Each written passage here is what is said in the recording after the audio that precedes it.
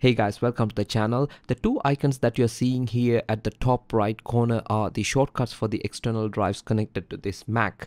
One is the memory card and the other one is the external drive. So if you go to the finder, you will find the exact drives on the left. You don't necessarily need these shortcuts on the desktop.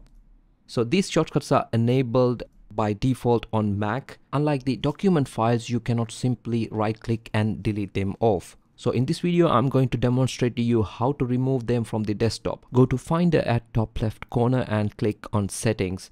Here you have the option to select or deselect external disks. Once you deselect, the shortcuts would disappear from the desktop.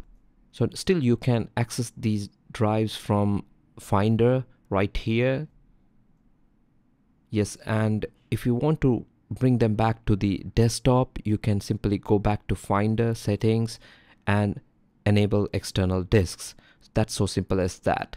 So i hope this video was helpful. If you liked it give it a thumbs up and subscribe to my channel. I will catch you in the next video. Thank you